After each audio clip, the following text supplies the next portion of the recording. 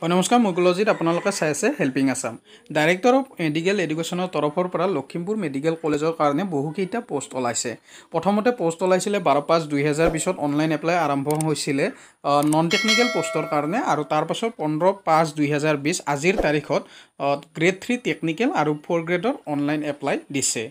গতিকে আজি এই ভিডিঅ'টোত দুটা অনলাইন এপ্লাই কেনেদৰে কৰিব লাগে সেই বিষয়ে আলোচনা কৰিম।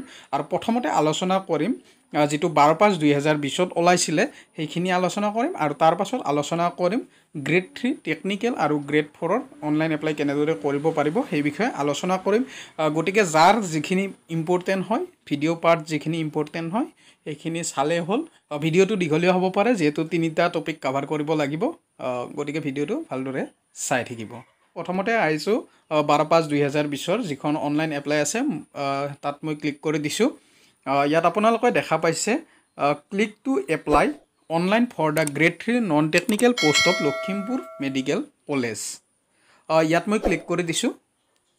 তাৰপিছত এক্সটাৰ্নেল অ'কে কৰি দিছোঁ। অ'কে কৰি দিয়াৰ পাছত পেজ এটা আহিছে। ওপৰত আছে হোম বুলি উল্লেখ আছে। ওপৰত আপোনালোকে দেখা পাইছে হোম বুলি উল্লেখ আছে। তাৰপাছত এপ্লিকেশ্যন ফৰ্ম বুলি উল্লেখ আছে। এপ্লিকেশ্যন ফৰ্ম বুলি উল্লেখ আছে। তাৰপিছত লগ ইন বুলি উল্লেখ আছে। আৰু ইয়াত উল্লেখ কৰা আছে যে মজিলা ফিয়াৰফক্স বা গুগল ক্ৰমত বেষ্ট ভিউ দেখা যাব। গতিকে এই দুটা ব্ৰাউজাৰত আপোনালোকে কৰিবলৈ চেষ্টা কৰিব মোবাইলতে অনলাইন কৰিব পাৰিব সেইটো কোনো কথা নাই। এতিয়া মই এপ্লিকেশ্যন ফৰ্মখনত ক্লিক কৰি দিছোঁ।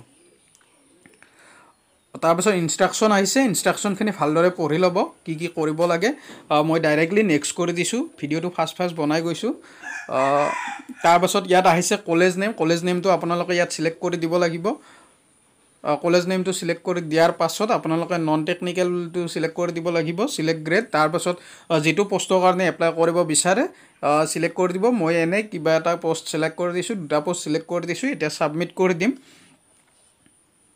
ছাবমিট কৰি দিয়াৰ পাছত আপোনালোকে ফৰ্মখন দেখা পাইছে। এই ফৰ্মখন মই লাইন বাই লাইন কৈ নিদিওঁ আপোনালোকে চাই লওক।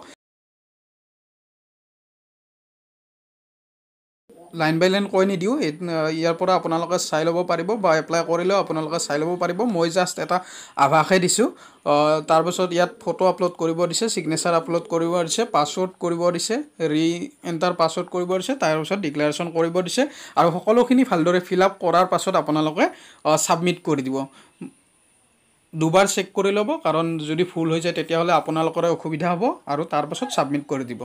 ছাবমিট কৰি দিয়াৰ পাছত এপ্লিকেশ্যন ষ্টেটাছটো আহিব আপোনালোকে দেখা পাব application form has been saved successfully লগতে এপ্লিকেশ্যন আই ডি এটা আহিব মই এপ্লিকেশ্যন আই ডিটো ব্লাৰ কৰি দিছোঁ আৰু তলত আপোনালোকে দেখা পাব এপ্লিকেশ্যন প্ৰিণ্ট আৰু এই অপশ্যনটোৰ পৰা আপোনালোকে এপ্লিকেশ্যনখন প্ৰিণ্ট কৰি থৈ দিব পাৰিব ভৱিষ্যতৰ কাৰণে। এতিয়া আহিছোঁ আনকেইটা অনলাইন এপ্লিকেশ্যনৰ বিষয়ে আলোচনা কৰিম। এতিয়া আহিছোঁ পোন্ধৰ পাঁচ দুহেজাৰ বিছ অৰ্থাৎ আজিৰ তাৰিখত যিটো অনলাইন এপ্লাই আহিছে সেই বিষয়ে আলোচনা কৰিম। এপ্লাইটো আহিছে গ্ৰেড থ্ৰী টেকনিকেল পষ্ট আৰু গ্ৰেড ফ'ৰ পষ্টৰ কাৰণে। ইয়াত আপোনালোকে দেখা পাইছে click here to apply grade three technical and grade four post for Lakhimpur medical college ইয়াত মই ক্লিক কৰি দিছোঁ। ক্লিক কৰি দিয়াৰ পাছত অ'কে কৰি দিব লাগিব এক্সটাৰ্নেল চ'ৰ্চৰ কাৰণে। এতিয়া সেই আগৰ পেজটোৱে খোল খাইছে আপোনালোকে দেখা পাইছে ইয়াত হোম অপশ্যনটো আছে এপ্লিকেশ্যন ফৰ্ম অপশ্যনটো আছে আৰু লগিং অপশ্যনটো আছে। আৰু বাকীখিনি একেই আছে গতিকে মই ডাইৰেক্টলি এপ্লিকেশ্যন ফৰ্মটোত ক্লিক কৰি দিছোঁ। এপ্লিকেশ্যন ফৰ্মটো ক্লিক কৰি দিয়াৰ পাছত ইনষ্ট্ৰাকশ্যন আহিছে ইনষ্ট্ৰাকশ্যনখিনি ভালদৰে পঢ়ি ল'ব মই ডাইৰেক্টলি নেক্সট কৰি দিছোঁ। নেক্সট কৰি দিয়াৰ পাছত ইয়াত কলেজ নেমটো আহিছে Lakhimpur medical college and hospital North Lakhimpur post টাইপটো select কৰিব লাগিব। গ্ৰেড থ্ৰীৰ কাৰণে কৰিলে গ্ৰেড থ্ৰী চিলেক্ট কৰিব লাগিব আৰু গ্ৰেড ফ'ৰৰ কাৰণে কৰিলে গ্ৰেড ফ'ৰ চিলেক্ট কৰিব লাগিব। মই গ্ৰেড থ্ৰী টেকনিকেলখিনি দেখাই দিছোঁ কেনেদৰে কৰিব লাগে। আৰু এটা কথা এপ্লাই কৰাৰ আগতে সকলোবোৰ পষ্টৰ বিষয়ে এডভাৰটাইজমেণ্টত ভালদৰে পঢ়ি চাব। যিকেইটা পষ্টৰ কাৰণে আপুনি ইলিজিবল হয় সেই পষ্টকেইটা চিলেক্ট কৰি এপ্লাই কৰিব। ইয়াত মই যিকোনো এটা চিলেক্ট কৰি দিম। ছাপ'জ মই ইয়াত চিলেক্ট কৰি দিছোঁ ৰেডিঅ'গ্ৰাফিক টেকনিচিয়ান তাৰপাছত মই ছাবমিট অপশ্যনটোত ক্লিক কৰি দিম। ইয়াত আপোনালোকে দেখা পাইছে ফৰ্মখন আহিছে। ফৰ্মখনত প্ৰথমতে আহিছে এপ্লাইড পষ্ট ৰেডিঅ'গ্ৰাফিক টেকনিচিয়ান বুলি মই এনেই দি দিছোঁ। তাৰপিছত নেইম অফ কেণ্ডিডেটটো আপোনালোকে দি দিব লাগিব। বাকীখিনি আপোনালোকে গম পাবই কি কি দিব লাগে। ভিডিঅ'টো ফাষ্ট কৰাৰ কাৰণে লাইন বাই লাইন কৈ দিয়া নাই।